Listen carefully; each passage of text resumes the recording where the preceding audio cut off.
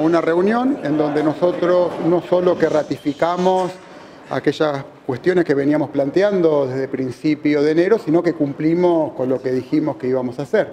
¿Esto qué significa? Que actualizamos los salarios de los docentes en el mes de enero para ser comprado, cobrado ahora en principio de febrero. Lo hicimos en base a los recursos que la provincia tiene, nos comprometimos a hacerlo en base a los recursos y lo hicimos.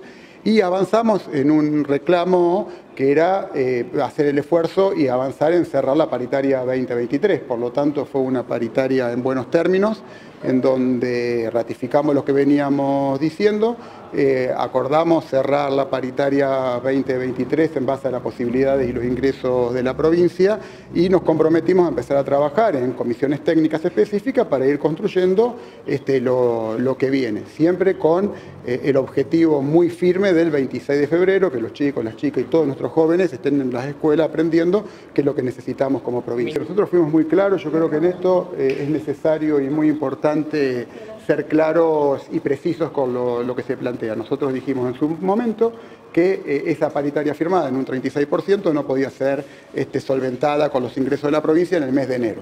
Lo que sí estamos comprometidos a poder cerrarla. Poder cerrar esa paritaria, que para nosotros es un compromiso, implica este, ir ajustando, ir teniendo en cuenta los ingresos este, de las arcas provinciales. Pero, pero, se va a hacer, pero la paritaria 2023 eh, se va a cerrar. En eso estamos trabajando. A ver, yo creo que no es momento para hablar del comienzo no de las clases. Las clases van a comenzar porque hay una voluntad muy importante de que eso suceda. Estamos estamos, estamos, haciendo, estamos haciendo un esfuerzo importante para, para hacerlo y estamos trabajando en el cierre de la paritaria 23. Por lo tanto, para mí, para ser muy mesurado, para llevar tranquilidad, para hablarle no solamente a los docentes a los cuales nos debemos, sino al conjunto de la sociedad, a los padres, a las madres, a los chicos. Estamos trabajando para este, llegar al 26 iniciando las clases. Empezar a especular con lo que va a pasar no me parece adecuado ni correcto. Para nuevamente ser claro, nosotros actualizamos un 14% base diciembre, que es mucho más, base febrero, en el mes de enero